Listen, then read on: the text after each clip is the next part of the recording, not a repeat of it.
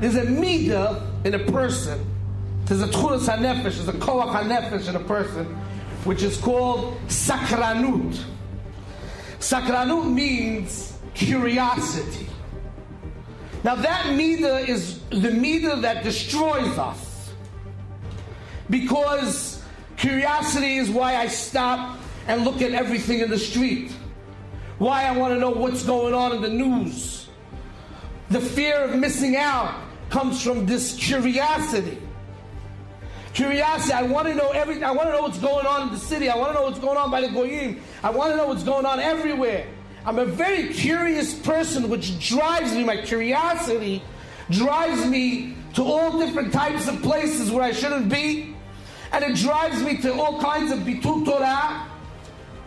That's my curiosity. What the boys are doing here, what the guys are doing over there, what's happening over here, what's happening over there. And we live off that curiosity. The world plays off that curiosity. We have statuses. Everybody has signed up to 50 different statuses to know about every stupidity in the world.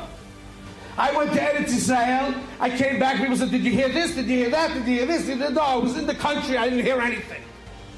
But I don't have the status to get all that information. So we need to know everything, and it's not relevant, all that. But we're curious. We want to know what's going on. Curiosity. But really, HaKadosh Baruch Hu gave us that koach hanefesh of curiosity for a good reason.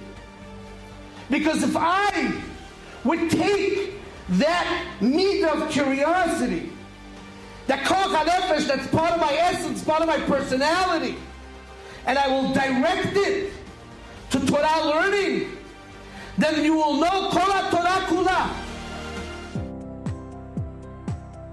Thank you for listening to the Guard Your Eyes Daily Chizuk broadcast. Pass them on to your friends and help spread Kedusha in the world.